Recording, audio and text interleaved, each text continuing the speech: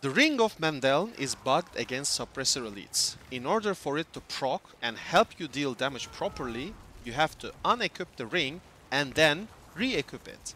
This will fix it and now you can easily kill suppressor elites with this method. Enjoy! Don't forget to like and subscribe.